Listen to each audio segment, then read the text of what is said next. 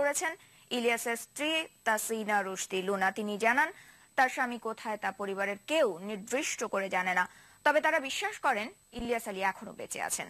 আর সরকারের আন্তরিক প্রচেষ্টায় তাকে ফিরিয়ে আনা সম্ভব বলেও বিশ্বাস তার। সিলেট বিভাগীয় প্রতিনিধি ওয়েস্ট খসরু রিপোর্ট, জানাচ্ছেন মুন্নিমুন ষোলো মাস ধরে নিখোঁজ থাকা বিএনপি নেতা ইলিয়াস আলী জীবিত আছেন।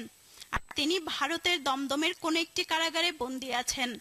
ইলিয়াস আলীর ছোট ভাই আজকিরের উদ্ধৃতি দিয়ে সম্প্রতি বিভিন্ন সংবাদ মাধ্যমে প্রকাশ করা হয় প্রতিবেদন।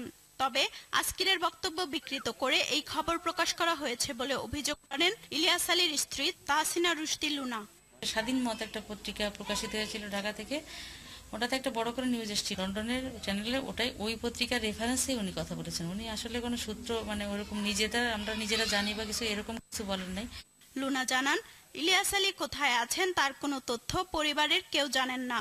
আমরা যেহেতু ওনার সম্পর্কে কোনো কিছু জানি না কোনো কিছুই জানি না তো আমরা তো আল্লাহর উপর ভরসা সর্বশক্তিমান মহান আল্লাহ তালার উপর বিশ্বাস থেকে আমরা সবসময় প্রত্যাশা করি যে উনি ফিরে আসবেন যে কোনো সময়।